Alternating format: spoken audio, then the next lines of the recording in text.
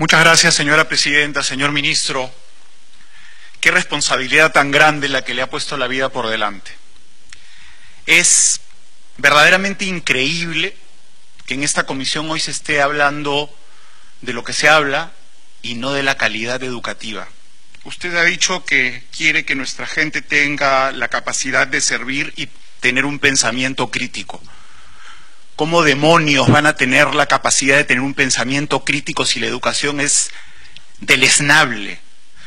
Si los libros tienen faltas de ortografía, los libros de matemáticas tienen faltas de, impresión, y pasan los años y se les sigue entregando lo mismo a los niños. ¿Cómo quiere usted que tengan los peruanos capacidad de discernir cuando a la gente en Puno se le cuenta que el friaje se combate con frazadas y calaminas? El friaje se combate con calefacción y el Perú es uno de los países que más gas tiene en el mundo. En el Perú nadie tendría que tener frío. Nadie tendría que tener frío porque vamos a llegar a los 200 años de independencia y siguen yendo los gobiernos a repartir frazadas a localidades que están por encima de los 4.000 metros de altitud.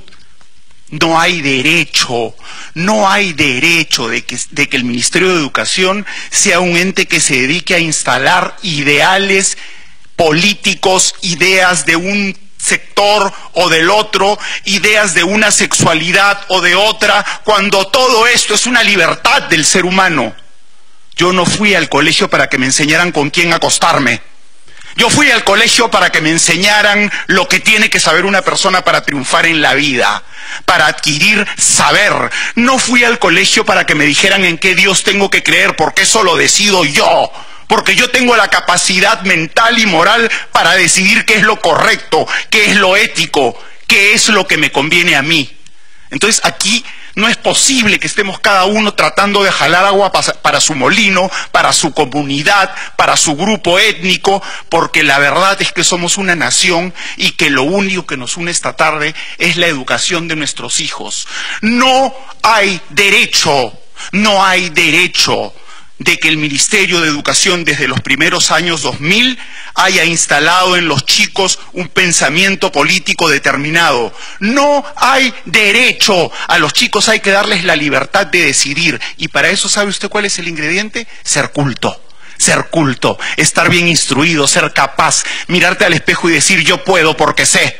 Esa es la misión del Ministerio de Educación. Y no lo que están haciendo y no instalar en las mentes de los chicos qué tienen que decir, cómo tienen que pensar, a quién tienen que odiar, porque lo que se ha logrado es que en el Perú ya no se puede vivir. ¿Y sabe usted por qué?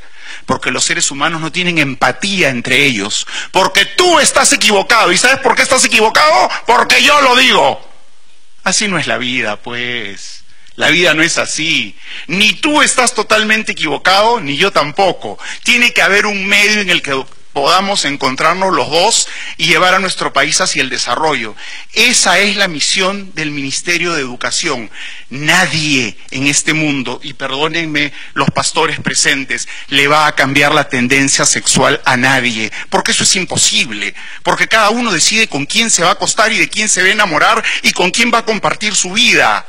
Lo que sí puedes hacer es que los chicos toleren, que sean tolerantes, que sean mejores que nosotros que puedan mirar a su compañero, a su compatriota a los ojos y decir, no somos iguales, pero tenemos algo en común, pertenecemos a la raza humana, porque ese es otro error del Ministerio de, Educación, que los blancos, que los chinos, que los aymaras, que los japoneses, que los italianos.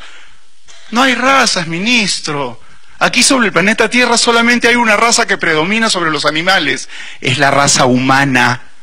Y la raza humana se diferencia de los animales porque Dios, en el que creo fehacientemente, porque yo lo decidí, porque Dios nos dio la capacidad de discernir que nos diferencia de los animales. Eso es lo que tiene su ministerio que cumplir, darle a los chicos la capacidad de discernir. Nunca más un libro consejo político, nunca más un libro que les indique a los chicos lo que tienen que creer, decir o hacer. Esa es, Señor, su responsabilidad. ¿Puede usted pasar a la historia como el que cambió esto? ¿O puede seguir un sistema que ya lleva casi 20 años instalado en el ministerio? Muchas gracias por escucharme.